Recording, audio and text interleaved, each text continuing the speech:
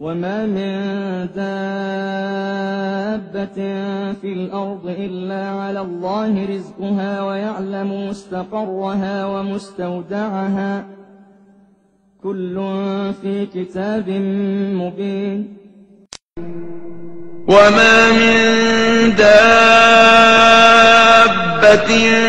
في الأرض إلا على الله رزقها ويعلم مستقرها ومستودعها. كل في كتاب مبين.